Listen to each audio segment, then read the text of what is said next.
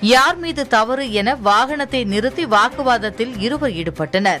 சாலையில் விபத்து ஏற்பட்டால் சிலர் தவறை உணர்ந்து வருத்தம் தெரிவித்து செல்வதும் சிலர் வாக்குவாதத்தில் ஈடுபடுவர். அந்த வகையில் கன்னியாகுமரி மாவட்டம் குளச்சல் பகுதியைச் சேர்ந்த ரமேஷ் என்ற நபர் திங்கள் சந்தை சாலையில் இருசக்கர வாகனத்தில் சென்று கொண்டிருந்தார்.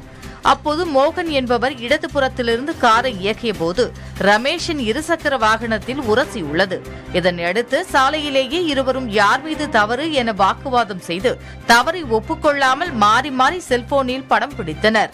அப்போது அங்கிருந்த சிலர் இருவரையும் அழைத்து அவரவரின் தவறை சுட்டிக்காட்டிய பிறகே இருவரும் தங்களது தவறை உணர்ந்து முக மலர்ச்சியுடன் கைகுலுக்கி சென்றனர்.